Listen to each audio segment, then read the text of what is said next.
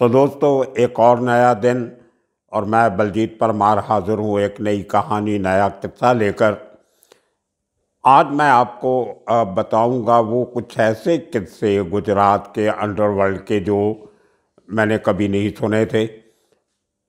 एक सूरत में रहने वाले एक ऑर्डिनरी परिवार से निकले हुए लोग अहमदाबाद में जाके वहाँ के सबसे बड़े डॉन नवाब खान और उसके पाँच बेटों के साथ किस तरह से उनके बराबर खड़ा होते हैं छाती तान के, ये कोई आसान काम नहीं था।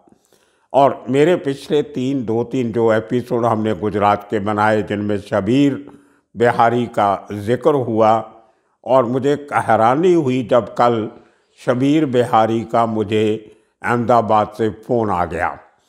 उनके साथ ही, उसके साथ उसके बड़े भाई मुस्तफ़ा मियाँ शेख, उनसे मेरी कल बात हुई। और मुस्तफ़ा के बेटे मोइन शेख से भी काफ़ी लंबी चौड़ी बात हुई और उन्होंने अपने परिवार का पूरा किस्सा सुनाया, जो पिछले तकरीबन पचास एक साल की हिस्ट्री बयां करता है क्राइम वर्ल्ड की। मुझे बहुत हैरानी हुई सुन के कि शबीर के पहले उसका बड़ा भाई मुस्तफ़ा सूरत में बचपन में कुछ क्राइम कर बैठा था जब उसकी उम्र हार्डली पंद्रह सोलह साल की थी। उस ज़माने के सबसे बड़े वहाँ के जो जो अंडरवर्ल्ड का डॉन था सूरत का, उसको मारा। बच्चों, जुवेनाइल कोर्ट में केस चला और छः महीने में छूट गया। लेकिन जेल से तो छूटा लेकिन उसको सूरत शहर भी, फैमिली को छोड़ना पड़ा। वो कहानी मैं आपको डिटेल से आने वाले दिनों में सुनाऊँगा। बहुत इंटरेस्टिंग किस्सा है कि एक परिवार ऑर्डिनरी परिवार, सारी उम्र अपने से बहुत ज़्यादा ताकतवर लोगों से लड़ता रहा, नुकसान उठाता रहा, जेल में पिसता रहा, लेकिन हार नहीं मानी। ये अंडरवर्ल्ड का एक असूल होता है, जो डर गया, वो मर गया। तो इस परिवार ने डरने से हमेशा इनकार किया और मुकाबला किया, दुश्मन भले ही उनसे बहुत ज़्यादा ताकतवर क्यों ना हो। तो इस पूरी लड़ाई की कहानी आने वाले दिनों में मैं उस जो शेख परिवार था सूरत का, वो आपको सुनाऊँगा। लेकिन आज जो मेरी कल इतनी लंबी चौड़ी बातें परिवार के तीन सदस्यों से हुई, उनमें से कुछ बातें जो निकल के सामने आई वो मैं आपको बताना चाहता हूँ।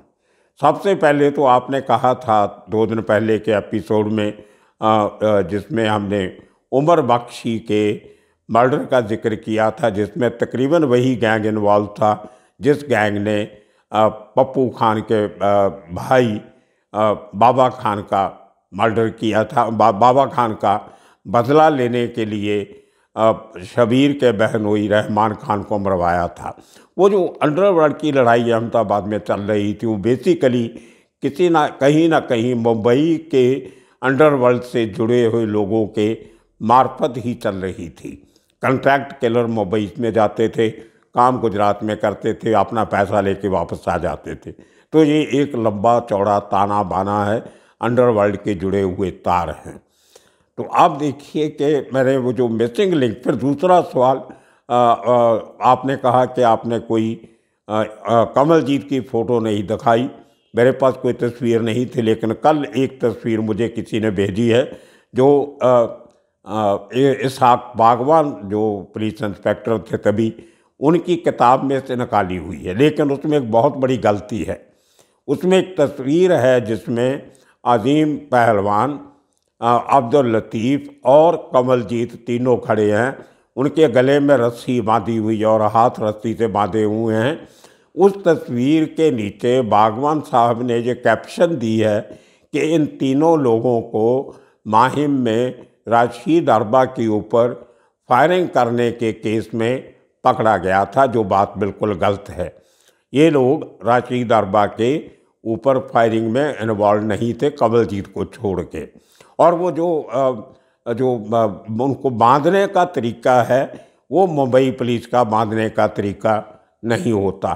तो वो गुजरात का तरीका है। तो बाद में मालूम पड़ा कि वो तस्वीर जो है, वो गुजरात पुलिस ने खींची थी। वो मैं आपको उसके बारे में पूरी से बताऊँगा, जब मैं आपको वो तस्वीर दिखाऊँगा, उसके साथ मैं पूरा खुलासा इसका करूँगा। तस्वीर सही है, लेकिन उसका रेफरेंस बागवान साहब ने गलत दे दिया था। तो दोस्तों, ये है वो तस्वीर जो इसहाक बागवान की किताब में छपी है और इसमें जो लेफ़्ट साइड में पहला आदमी है वो अजीम पहलवान है। दूसरा अहमदाबाद का डॉन लतीफ़ अब्दुल लतीफ़ है और राइट साइड में तीसरा लंबा आदमी वो कमलजीत है। लेकिन इसका कैप्शन गलत दे दिया था बागवान साहब ने कि रशीद अरबा केस में थे। नहीं, ये फ़ोटो सुरेंद्र नगर में गुजरात पुलिस ने निकाली थी, जब ये तीनों लोग उमर बख्शी के मर्डर केस में, किडनैपर मर्डर केस में अरेस्ट हुए थे। तो ये आपको एक्सक्लूसिव तस्वीर मैं दिखा रहा हूँ कमलजीत की। और ये तस्वीर है शबीर बिहारी की।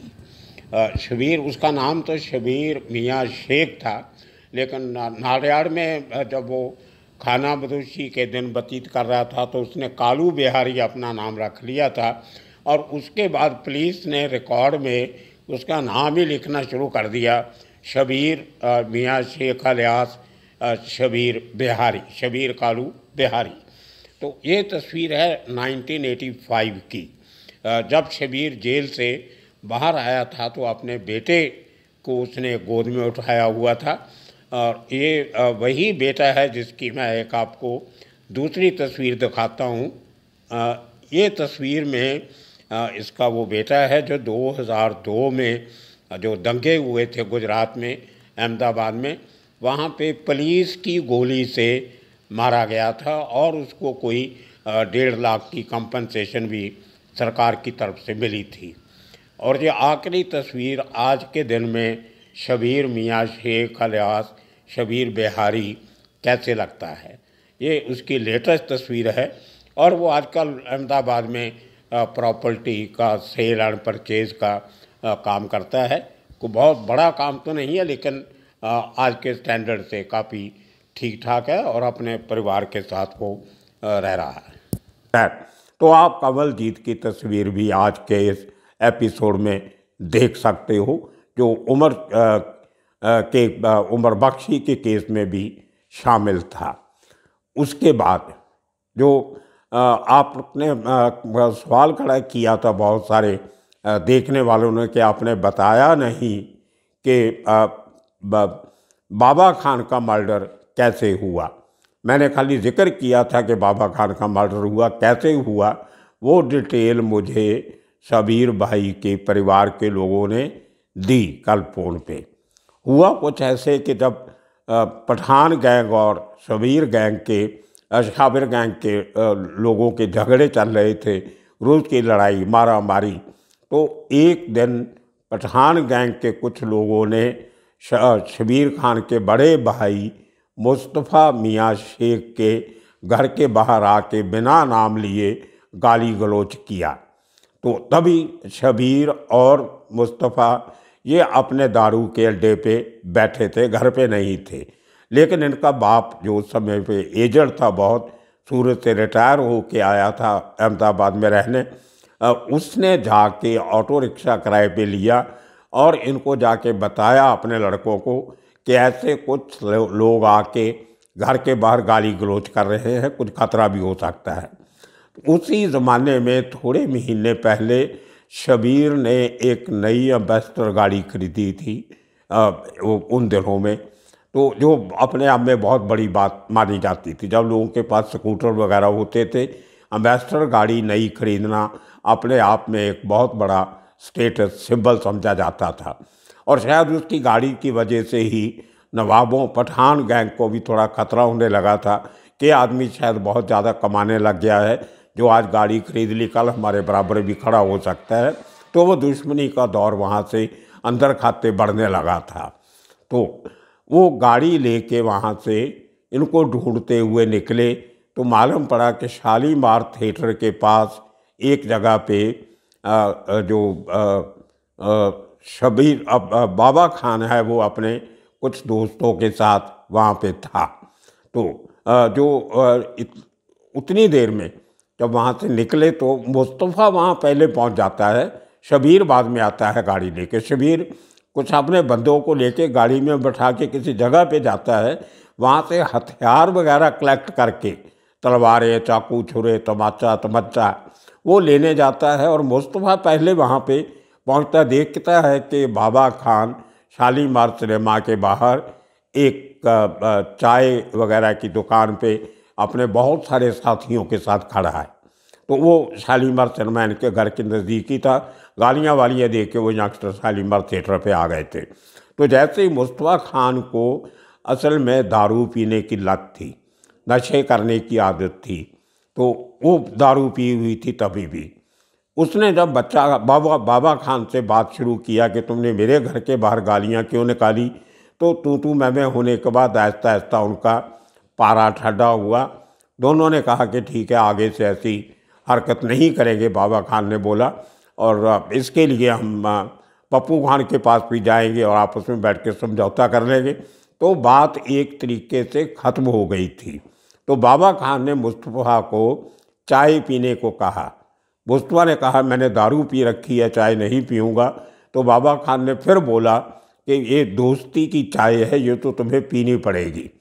कहते हैं ना, जैसे कोई हालात बन रहे होते हैं, मौत आती है तो बहाना बन ही जाता है। अगर मुस्तफ़ा खान पहले निकल जाता और उस फैसले के बाद बाबा खान वहाँ से निकल जाता तो शायद मरता नहीं। वो चाय पीने के चक्कर में, दोस्ती की चाय में उसको वहाँ पे अटका लिया और उतनी देर में शबीर बिहारी अपने साथियों के साथ हथियार लेके और अपना वो तमाचा लेके वहाँ पे गाड़ी में पहुँच जाता है। और बिना पूछे, बिना देखे कुछ किए के फैसला हो गया है, मामला शांत है। उसने कुछ नहीं देखा और आते ही अपना वो हथियार निकाल के बाबा खान को चार गोलियाँ मार दी और उसको जगह पे ढेर कर दिया। अब देखिए, जो नहीं होना चाहिए था, वो हो गया। और उसका खमियाजा आगे कितनी दूर भुगतना पड़ा। तो ये किस्सा मुझे उसके भतीजे मोइन ने भी कहा कि शबीर दिल का अच्छा था, लेकिन गुस्सा बहुत आता था उसको। कुछ करने के पहले बराबर सोचता नहीं था। एकदम स्पर ऑफ़ द मूवमेंट पे फैसला ले लेके वो काम कर देता था। फिज़िकली बहुत तगड़ा था और जब छोटा था, जवानी की उम्र में था तो अपने दोस्तों को बोलता था, उनके लिए पंचिंग बैग बनता था। जैसे बॉक्सर में आप बैग को पंच करते हो तो ये अपने दोस्तों को बोलता था, मुझे पंच करो। मेरे पेट पे गुस्से मारो, मुझे टांगे मारो, मुझे पाँव से मारो, डंडे से मारो।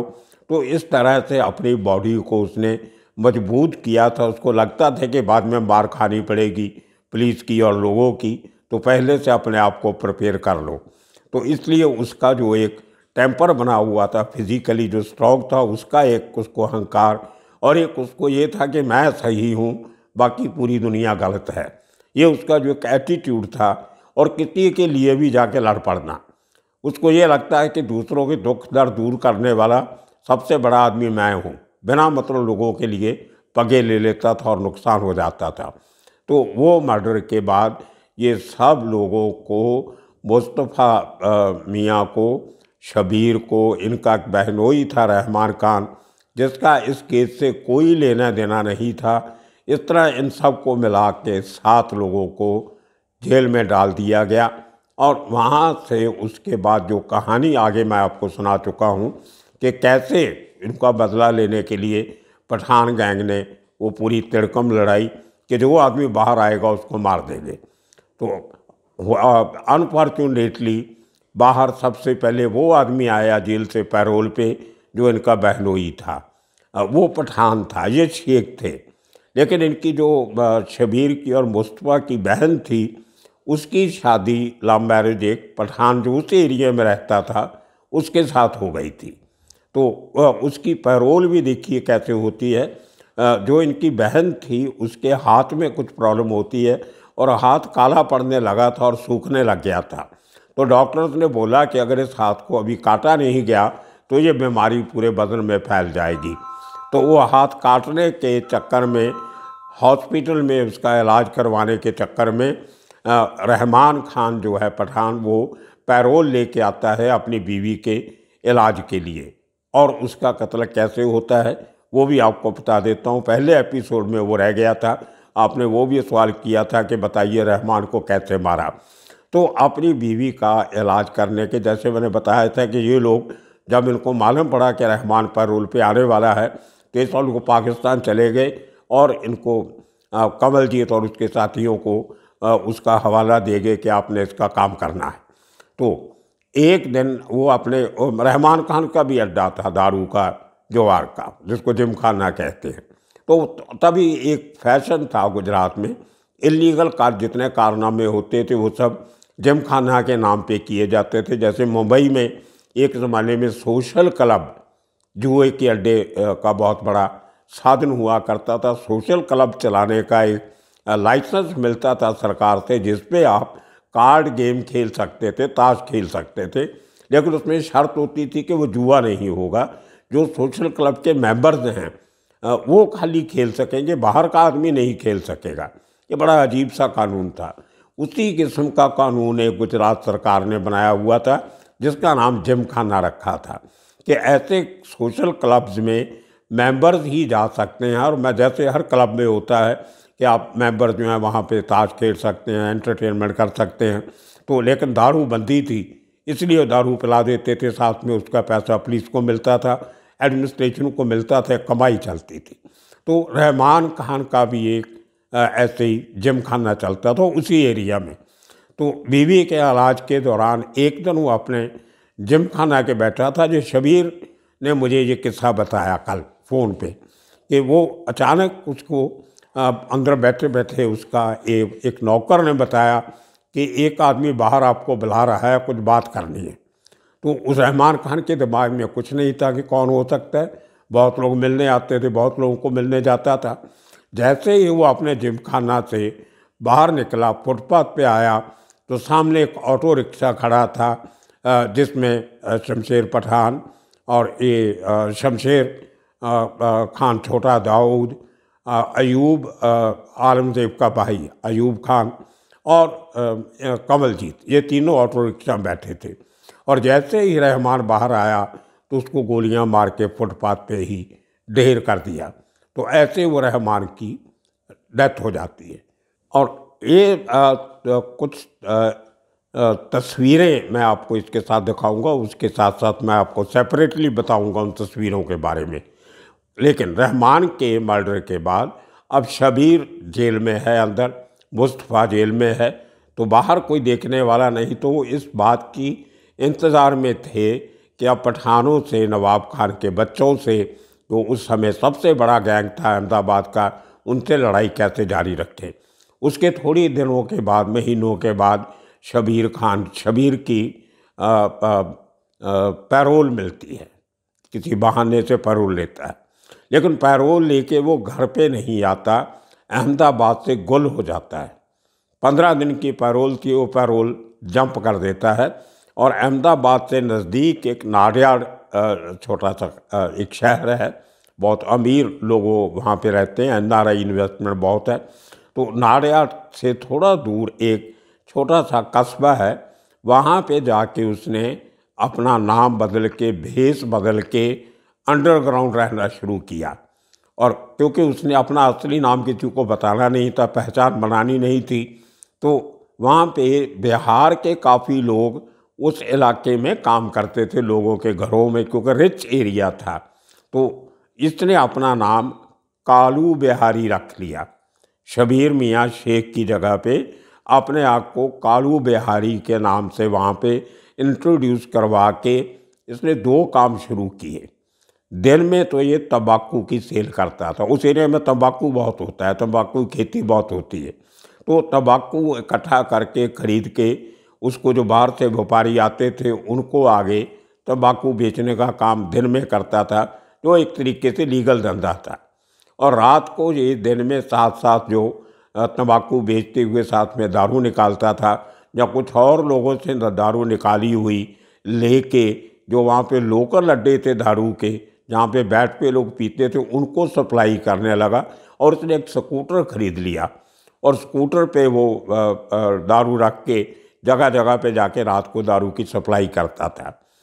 तो उसने कहा कि जो जो तम्बाकू की आमदन होती थी, उससे वो अपना खाने, पीने का, मकान का किराया इस किस्म के खर्चे पूरे करता था। और जो दारू की कमाई होती थी, उसको वो बहाल के रखता था, एक गोनी में डाल के पैसा इकट्ठा करता था वो इसलिए कि उस पैसे से वो सोफिस्टिकेटेड हथियार खरीदना चाहता था, जिन हथियारों की मदद से वो पठान गैंग से अपना बदला ले सकता।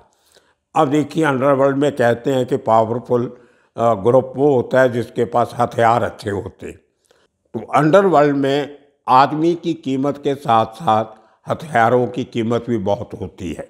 तो इस आदमी ने हथियार इकट्ठे किए देसी तमाचे वगैरह अच्छी क्वालिटी के, वो खरीदे, लेकिन इसको ज़रूरत थी एक ऑटोमेटिक वेपन की। एक महँगा हथियार खरीदना चाहता था, लेकिन इतने पैसे जमा हो नहीं रहे थे दारू के धंधे से। तो इसने बात करते करते एक शख्स को मारने की सुपारी ले लिया। वो शख्स उसमें नाडियाड़ का बीजेपी का वर्कर था, बहुत बड़ा, और उसका नाम था संदीप पाटिल। तो संदीप पटेल संदीप पटेल तो संदीप पटेल को मारने की सुपारी उसके दुश्मनों से ले लेता है, जिसमें पाँच लाख में सुपारी ली, दो लाख एडवांस लिया और तीन लाख उसको मारने के बाद मिलना था। और वो दो लाख मिलने के बाद इसने दो तीन दिन में रैकी करके, जैसे ही संदीप एक ऑटो रिक्शा में आ रहा था लाड़ियाड़ में तो रास्ते में इसने रोक के ऑटो अपने स्कूटर से उसको गोली मार दी और मार दिया। दो लाख मिल गया था, लेकिन उसके बाद क्योंकि बीजेपी का वो वर्कर था, काफ़ी शोर शराबा हुआ, हंगामा हुआ तो शाबिर को वहाँ से, शबीर, तभी वहाँ पे थे वो, कालू बिहारी था। तो कालू बिहारी बन के वो वहाँ से भाग भागता है और दूसरी जगह पे जाके अड्डा बना लेता है। लेकिन उस पैसे से वो उसको ऑटोमेटिक वेपन तो नहीं मिली, लेकिन देसी तमाचे वगैरह उसने काफ़ी अच्छी क्वालिटी के इकट्ठे कर लिए और तीन लड़के साथ में ट्रेन कर लिए अपने साथ कि हम चारों लोग जाके पठान गैंग से बदला लेंगे। और उसकी तैयारी करके एक दिन वो पूरी प्लानिंग करके कि इस तारीख को निकलेंगे ऑटो रिक्शा में नाडियाड से अहमदाबाद तक जाएँगे और पप्पू खान पठान के दफ्तर पे अटैक करेंगे। लेकिन उनमें से एक लड़का डर गया। उसको ये था कि इतने बड़े लोगों से पंगा लेके मैं ज़िंदा नहीं बचूँगा। वो रात को वहाँ से गुल हो जाता है और किसी तरीके से सुबह सुबह अगले दिन पप्पू पठान के ऑफ़िस में पहुँच जाता है और उसको बताता है कि आपको मारने की पूरी प्लानिंग हो गई है। कल इतने बजे इस नंबर के ऑटो से और इस नंबर के स्कूटर पे बैठ के शबीर खान, उर्फ़ कालू बिहारी आपको मारने आ रहा है। उसके साथ दो लोग हो गए। लेकिन पप्पू खान को उस पर यकीन नहीं है। उसको लगा कि ये कोई ट्रैप है। उसको बहुत मारा गया टॉर्चर किया गया। तो उस लड़के ने बोला, मुझे भले मार भी दो लेकिन मैं सही बात बता रहा हूँ। कल वो लोग कितने बजे आएँगे? कल तक मुझे ज़िंदा रखो। अगर वो नहीं आते हैं तो बेशक मुझे मार देता अगर आते हैं तो मुझे आपको इनाम देना पड़ेगा। अब पप्पू खान बहुत सियाना आदमी था। उसने खुद एक्शन लेने की बजाय अपने पुलिस के सोर्सेज को बता दिया कि इस रास्ते से कल कुछ लोग हथियार लेके आने वाले हैं। ये नहीं बताया कि मुझे मारने वाले हैं। तो पुलिस ने नाका लगाया एक नरोल इलाका है नाका है वहाँ पे चौराहा। वहाँ पे पुलिस ने नाकाबंदी लगाई और ये तीन लोग उसी ऑटो में और वही नंबर का स्कूटर जिस पे शबीर बैठा था, चला रहा था, इनको पकड़ा जाता है, हथियार सीज हो जाते हैं। ये पकड़ के फिर भाई साहब वापस जेल में। हथियार भी गए, पप्पू की दुश्मनी भी रह गई और खुद वापस जेल में आ गया। लेकिन वो बात पप्पू के दिमाग में बैठ गई कि ये आदमी बहुत ख़तरनाक है।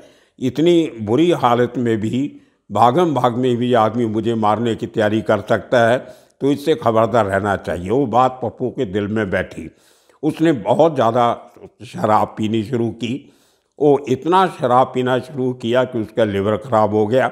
और 95 में जब उसकी डेथ होती है तो मरने के पहले वो शबीर खान को, शबीर को बुलाता है और कहता है कि मेरे सर पे हाथ रखो कि तुम मुझे नहीं मारोगे।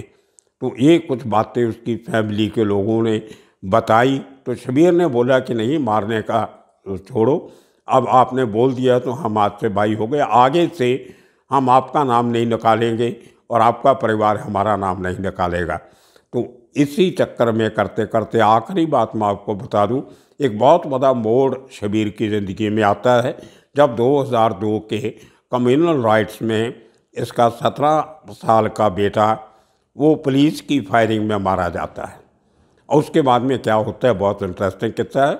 आपको मैं कुछ पुराने अखबारों की कटिंग भी दिखाऊँगा। बहुत बड़ा सनसनीखेज कांड हुआ था गुजरात में आ, उस हादसे के बाद। वो आने वाले दिनों में किस्सा सुनाऊँगा। तब तक आप इंतज़ार कीजिए। आज के दिन के लिए इतना ही काफ़ी। आने वाले दिनों में और कितने कहानियाँ लेके फिर हाजिर होंगे। तब तक के लिए आप सबका शुक्रिया। धन्यवाद।